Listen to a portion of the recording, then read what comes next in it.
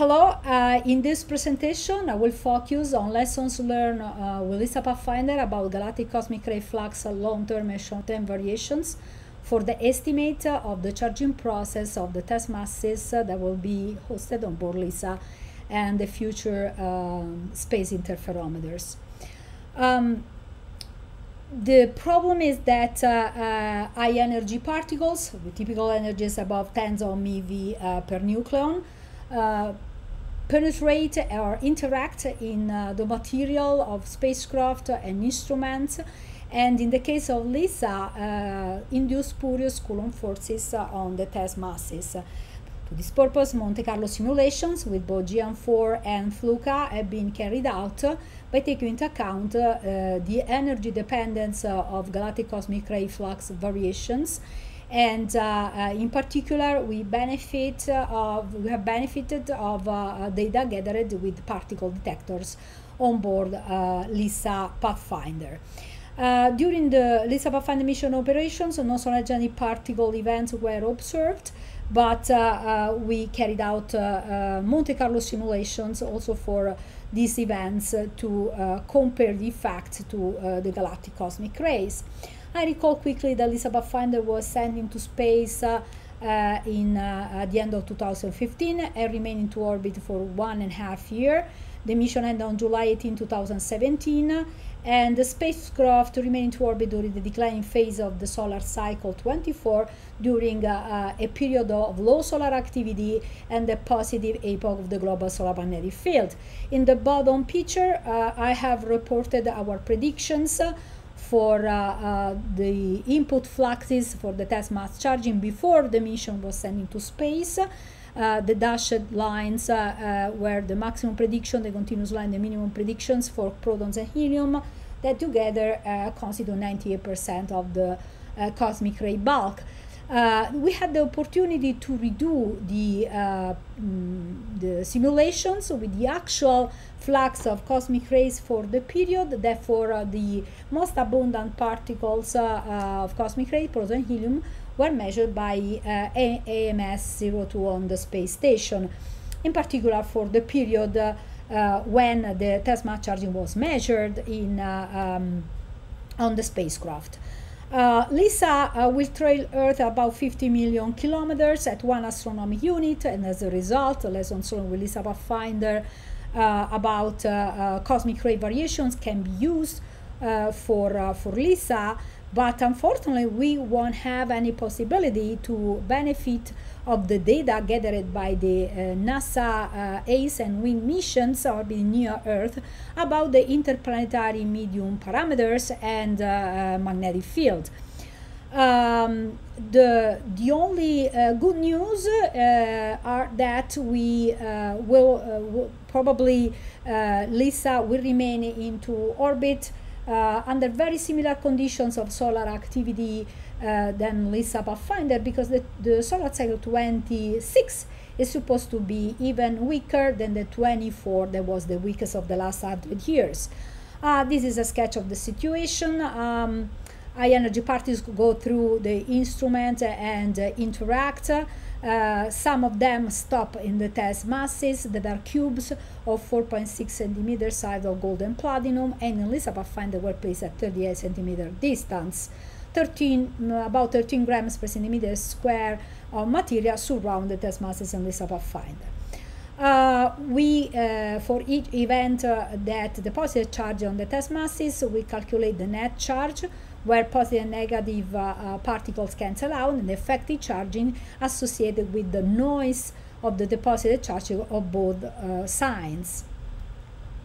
Uh, the uh, as I recall before, the test mass charging was measured on board LISA Pathfinder in April 2016. These are the results. Uh, we found about 2325 uh, charges per second uh, on the two test masses and more than 1000 charges per second for the effective charging. Uh, the present simulations with proton helium measured by AMS-02 and electrons that were um, estimated for, for the period, we found very similar results. Uh, mainly if it's taken into account that uh, to these numbers 21 and 22 uh, for the net charging about um, uh, around 900 charges per second for the um, for the uh, effective charging the nuclei have the role of the nuclei have to be added. We didn't um, include in the simulations the uh, nuclei because uh, uh, the uh, predictions would have introduced uh, uncertainty larger than the contribution that this particle give to uh, the test mass. the details of this work will be given in the Mattia Villani's talk on Thursday, July 20, 28 at 3.20 in the afternoon. Um, to give you an idea how good uh, the measurements of cosmic rays were carried out uh, on LISA Pathfinder, reported here the data gathered during the whole mission operations. The increasing trend is associated with uh, uh, the um, long-term variation of the uh, solar activity, while the spikes uh, are due to the transit of interplanetary coronal mass ejections that produce three four Forbush decreases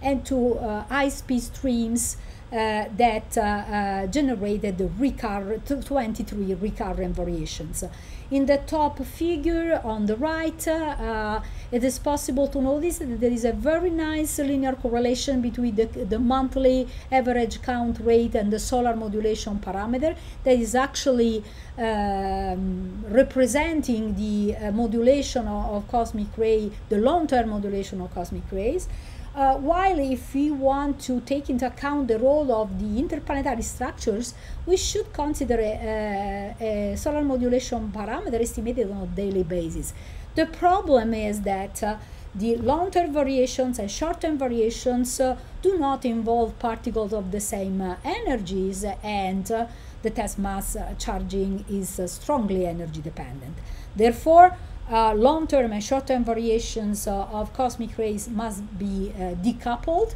and uh, uh, the uh, Forbush decreases due to the interplanetary counterpart coronal mass ejections, interest particle well above 10 GeV, while the recurrent variations due to the passage of, of high-speed solar wind streams involve particles up to a few GeV, while in the long-term variation of, of, cosmic rays um, modulate the cosmic rays up to 10 GeV. Uh, in this uh, picture, uh, I have on the left picture have reported the uh, variation of the uh, of the uh, galactic cosmic ray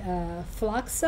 observed with the um, particle detector on, on board LISA Pathfinder, and the corresponding differential fluxes at the beginning and the deep of the variations uh, infer from uh, these measurements and the neutron monitor observations.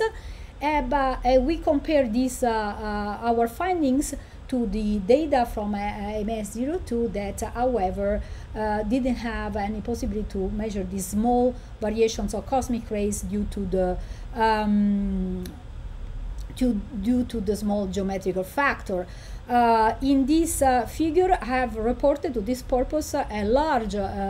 Forbush decrease observed by Pamela that uh, involve particles up to 50 GeV energies and would have generated a change in the test mass charging uh, uh, by a factor of 3 for the net charge and by a factor of 4 uh, by a factor of 4 for the net charge and by a factor of 3 for the effective charging.